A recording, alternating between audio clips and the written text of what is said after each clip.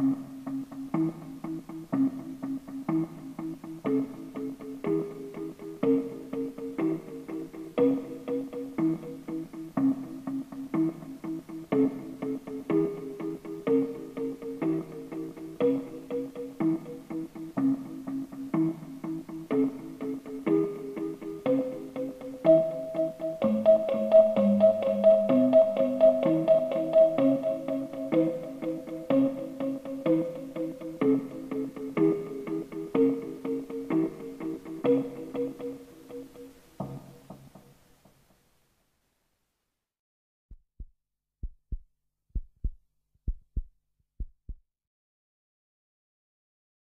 Hop Frog. I never knew anyone so keenly alive to a joke as the king was. He seemed to live only for joking. To tell a good story of the joke kind, and to tell it well, was the surest road to his favour. Thus it happened that his seven ministers were all noted for their accomplishments as jokers. They all took after the king, too, in being large, corpulent, oily men, as well as inimitable jokers. Whether people grow fat by joking, or whether there is something in fat itself which predisposes to a joke, I have never been quite able to determine, but certain it is that a lean joker is a rara avis in terris. At the date of my narrative, professing jesters had not altogether gone out of fashion at court. Several of the great continental powers still retained their fools, who wore motley with caps and bells, and who were expected to be always ready with sharp witticisms at a moment's notice, in consideration of the crumbs that fell from the royal table. Our king, as a matter of course, retained his fool. The fact is, he required something in the way of folly, if only to counterbalance the heavy wisdom of the seven wise men who were his ministers, not to mention himself. His fool, or professional jester, was not only a fool, however. His value was trebled in the eyes of the king by the fact of his being also a dwarf and a cripple. Dwarfs were as common at court in those days as fools, and many monarchs would have found it difficult to get through their days. Days are rather longer at court than elsewhere, without both a jester to laugh with and a dwarf to laugh at. But, as I have already observed, your jesters, in ninety-nine cases out of a hundred, are fat, round, and unwieldy, so that it was no small source of self-gratulation with our king that in Hop Frog, this was the fool's name, he possessed a triplicate treasure in one person. I believe the name Hop Frog was not that given to the dwarf by his sponsors of baptism, but it was conferred upon him by general consent of the seven ministers, on account of his inability to walk as other men do. In fact, Hop Frog could only get along by a sort of interjectional gait, something between a leap and a wriggle, a movement that afforded illimitable amusement and, of course, consolation to the king.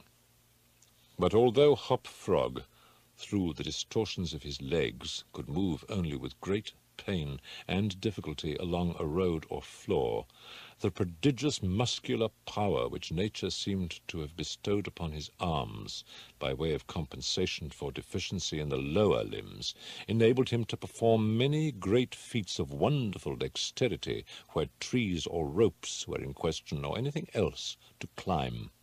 At such exercises he certainly much more resembled a squirrel or a small monkey than a frog.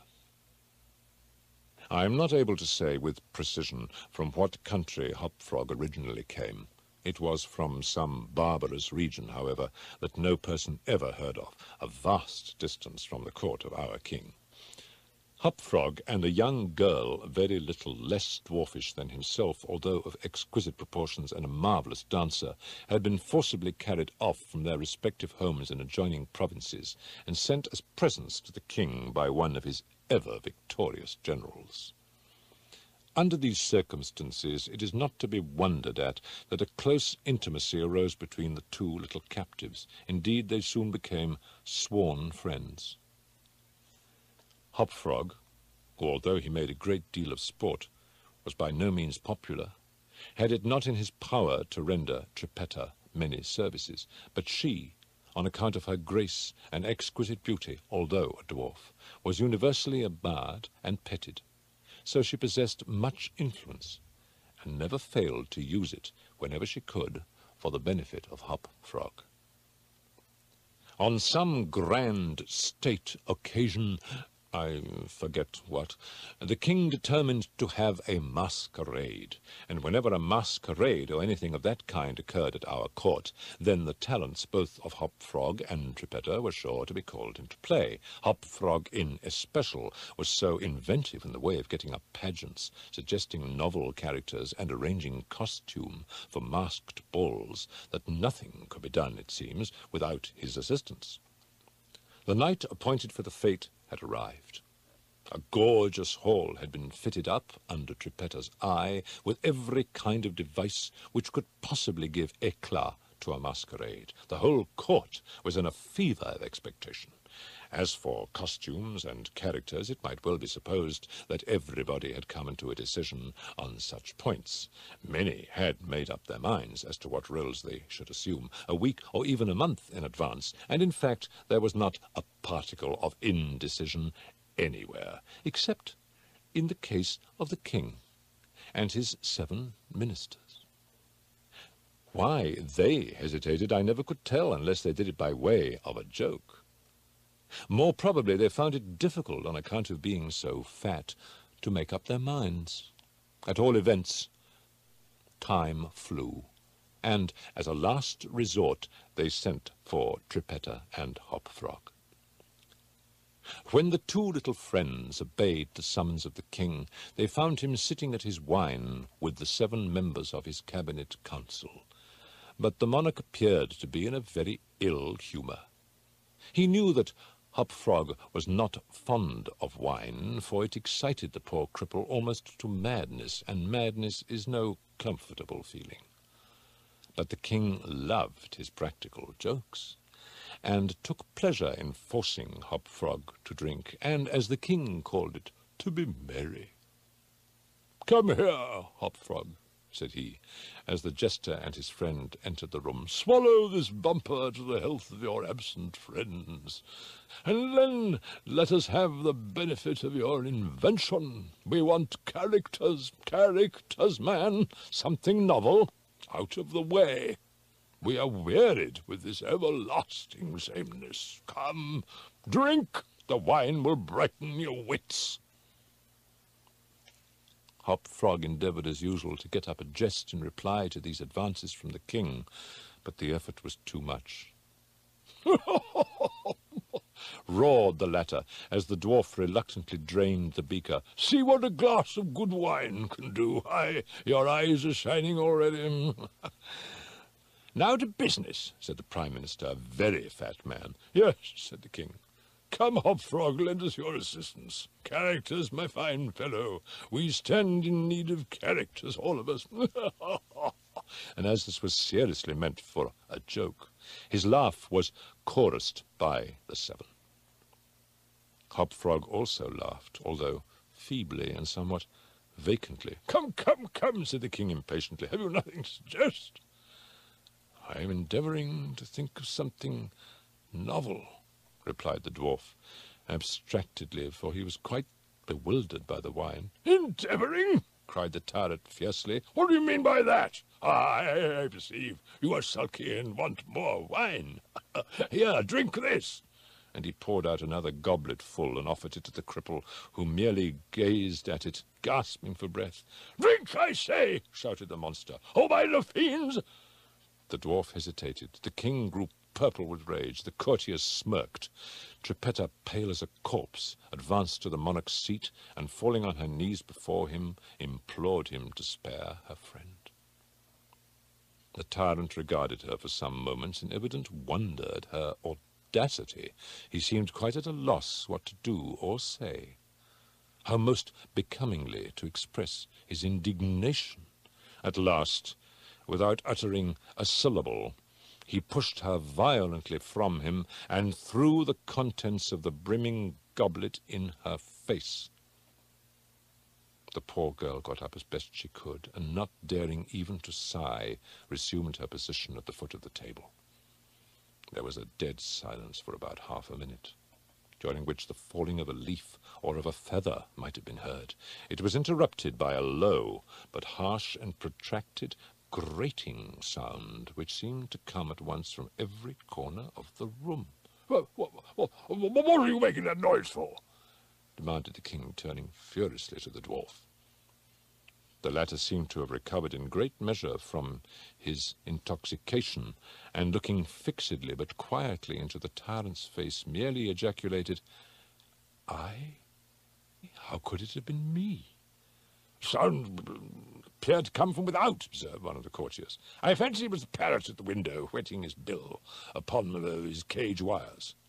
True, replied the monarch, as if much relieved by the suggestion. But on the honour of a knight, I could have sworn that it was the gritting of this vagabond's teeth. Hereupon the dwarf laughed. The king was too confirmed a joker to object to anyone's laughing, and displayed a set of large, powerful, and very repulsive teeth. Moreover, he avowed his perfect willingness to swallow as much wine as desired. The monarch was pacified, and having drained another bumper with no very perceptible ill effect, Hop Frog entered at once and with spirit into the plans for the masquerade. I cannot tell what was the association of idea, observed he very tranquilly, as if he had never tasted wine in his life. But just after your majesty had struck the girl and thrown the wine in her face, just after your majesty had done this, and while the parrot was making that odd noise outside the window, there came into my mind a capital diversion, one of my own country frolics, often enacted among us at our masquerades. But here it will be new altogether. Unfortunately, however, it requires a company of eight persons and... Here we are, cried the king, laughing at his acute discovery of the coincidence. Eight to a fraction. I and my seven ministers. Come, what is the diversion? We call it, replied the cripple, the eight-chained orang-utangs, and it really is excellent sport, if well enacted. We will enact it, remarked the king, drawing himself up and lowering his eyelids. The beauty of the game, continued Hop Frog, lies in the fright it occasions among the women. Capital! roared in chorus the monarch and his ministry. I will equip you as orang-utangs, proceeded the dwarf. Leave all that to me. The resemblance shall be so striking that the company of masqueraders will take you for real beasts, and of course they will be as much terrified as astonished. Oh, this is exquisite! exclaimed the king. Hop Frog, I'll make a man of you. The chains are for the purpose of increasing the confusion by their jangling. You are supposed to have escaped en masse from your keepers. Your majesty cannot conceive the effect produced at a masquerade by eight chained orang-utangs, imagined to be real ones by most of the company, and rushing in with savage cries among the crowd of delicately and gorgeously habited men and women. The contrast is inimitable.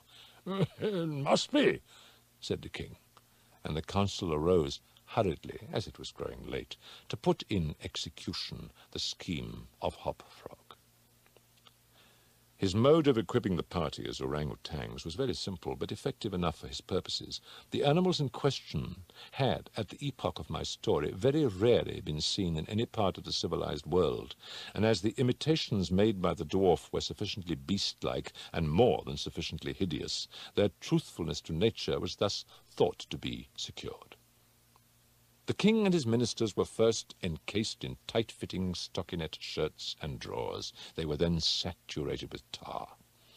At this stage of the process, some one of the party suggested feathers, but the suggestion was at once overruled by the dwarf, who soon convinced the eight by ocular demonstration that the hair of such a brute as the orangutan was much more efficiently represented by flax. A thick coating of the latter was accordingly plastered upon the coating of tar. A long chain was now procured. First it was passed about the waist of the king and tied, then about another of the party and also tied, and then about all successively in the same manner. When this chaining arrangement was complete, and the parties stood as far apart from each other as possible, they formed a circle, and to make all things appear natural, Hop Frog passed the residue of the chain in two diameters at right angles across the circle after the fashion adopted at the present day by those who capture chimpanzees or other large apes in Borneo. The grand saloon in which the masquerade was to take place was a circular room, very lofty, and receiving the light of the sun only through a single window at top. At night the season for which the apartment was especially designed, it was illuminated principally by a large chandelier, depending by a chain from the center of the skylight, and lowered or elevated by means of a counterbalance as usual. The arrangement of the rooms had been left to Trippetta's superintendence, but in some particulars, it seems, she had been guided by the calmer judgment of her friend the dwarf. At his suggestion it was that on this occasion the chandelier was removed, its waxen drippings, which in weather so warm it was quite impossible to prevent, would have been seriously detrimental to the rich dresses of the guests, who, on account of the crowded state of the saloon, could not all be expected to keep from out its centre, that is to say, from under the chandelier.